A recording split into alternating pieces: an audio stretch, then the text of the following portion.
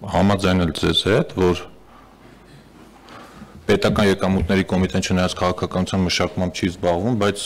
աջակցում է քաղաքականության մշակմանը։ Իմ ասած այն էր, որ քաղաքականություն մշակողը ֆինանսների նախարարությունն է, ու ճիշտ եք ասում, ՊԿՍ վերջի շրջանում երևի ավելի շատ օրենսդրական նախագծեր ա բերել ազգային ժողով, քան ֆինանսների նախարարությունը, դրանք հիմնականում ուղղված են եղել իրենց գործիքակազմերի հարստացմանը, բայց ես էլ եմ կողմ օրինակ որ ավելի շատ մենք այդ առումով շեշտը դնենք ֆինանսների նախարարության բերած նախագծերի վրա։ Եվ քանի որ արձագանքելու եք մի հարց է պարոն Մինասյան, ես տամ խնդրեմ դուք էլ արձագանքի ժամանակ այդ հարցին պատասխանես, պատասխանեք։ Այս վերջերս շատ է քննարկվում հարկերի, մասնավորապես եկեղեցու հարկերի թեման, եւ այդ համատեքստում չնայած որևէ պաշտոնական նախագիծ չի եղել, որևէ խոսակցություն բան պաշտոնապես չի եղել, բայց այդ խոսակցությունները եղել են նաեւ նախկինում, բայց ամեն դեպքում արձագանքը հետեւյալն էր։ Եկեղեցին հարկեր վճարի, որ դուք այսինքն մենք падգամավորներս պարքիա վճարներ ստանանք։ Կհիշեցնեմ, թե դուք թե պարոն Խաչատրյան ասեք, օրինակ վերջին անգամ երբ եք որպես ազգային ժողովի падգամավոր պարքիա վճար ստացել,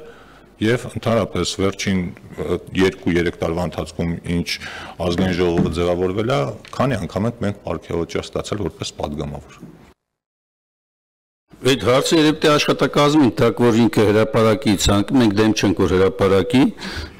պարգևատրումների, բայց վերջին վերջին մենք չենք ստանում, չգիտեմ, մենք վստահաբար չենք ստանում վերջին առնվազն 1 տարվա մեջ որովհետև օրենսդրական փոփոխության հետևանքով օրենսդրական փոփոխության հետևանքով տեղափոխություն եղավ վարչատրության համակարգերի մեջ շատ չմանրամասնեմ այդ ամենը բայց և,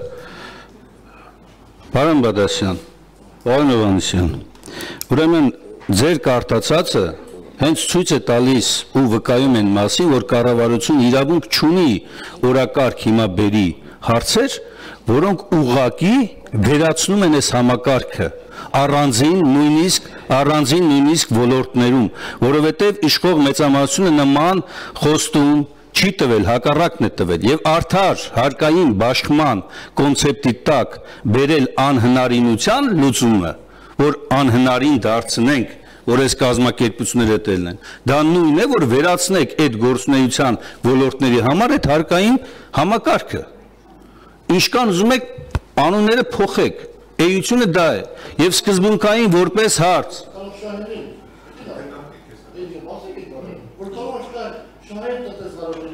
Վարոն Աղազարյան, բան ունեք խոսելու։ Եվ կամ ձայն վերցեք խոսեք կամ ելնենք քննարկենք։ Հիմա մյուսը մյուսը փաստաբանների եւ նոտարների մասով։ Լավ է որ նշում եք, որ ապագայում փաստաբանությամբ կզբաղվեք եւ այլն։ Դե ապագան էլ է ոնց որ սկացա դա։ Խնդիր չի, բայց տեսեք, այսօրվա գործող համակարգի շրջանակներում ել այդ շեմը հաղթահարող փաստաբանական խոշոր կազմակերպությունները իրենք ստանդարտ հարկային դաշնում են գործելու։ Հիմա եթե դուք խոսում եք փոքր կազմակերպությունների մասին կամ անհատ ձեռնարկատերերի կարգավիճակի մասին, որևէ խնդիր չկա, եթե դուք օրինակ, հա, առաջ բերեք իրենց մոտ հարկային պատշաճ վարչարարության հարցը բայց ոչ թե ոլորտը ամբողջությամբ հանեք, որովհետև դրա հետևանքը ես նշեցի արդեն եւ բազմաթիվ են այդ մտահոգությունները իրավապաշտպան ոլորտում հսկայական վնասն է։ Երբ որ դուք ասում եք ունենք հանրային պաշտպանի գրասենյակ, պարոն Բադասյան, հանրային պաշտպանի վարչատրության չափն իշքան է։ Իշքան ուզում եք մեծացրեք, Ինչքան ուզում եք բյուջեն մեծացրեք եւ եթե դուք հանում եք մասնավոր փաստաբանական կազմակերպությունների անհատների կողմից աջակցությունը, դուք բյուջեի վրա երրակի ավելի մեծ բեռ եք դնում, քան նույնիսկ նույնիսկ այն հնարավոր արտոնությունները, որից օգտվում են իրենք։ Այսինքն անուղակի ձևով բյուջեի վրա շատ ավելի մեծ բեռը դնում, ել չասած, որ եթե անձը հակված է խուսափելու, տարբեր սխեմաներ կգտնի որևէ խնդիր չկա խորհրդատվության ամենատարբեր ձևերով կարող է անել բայց երբ որ դուք ասում եք խորհրդատվության բոլոր բլոկները նույնական լինեն ես համակարծիք չեմ ձեր հետ ասենք բիզնես խորհրդատվությունը չի կարող իրավապաշտպան խորհրդատվության հետ համադրվի ուղակի չի կարող համադրվել, որտեղ մենք այստեղ գործ ունենք իրավունքի համանadrական մակարդակով գերակա պաշտպանության անհրաժեշտության հետ, ընդդեմ մասնավոր բիզնես շահը առաջ տանելու հետ։ Եվ վերջին դիտարկումը պարոն Հովանիսյանի ասացի շրջանակներում էր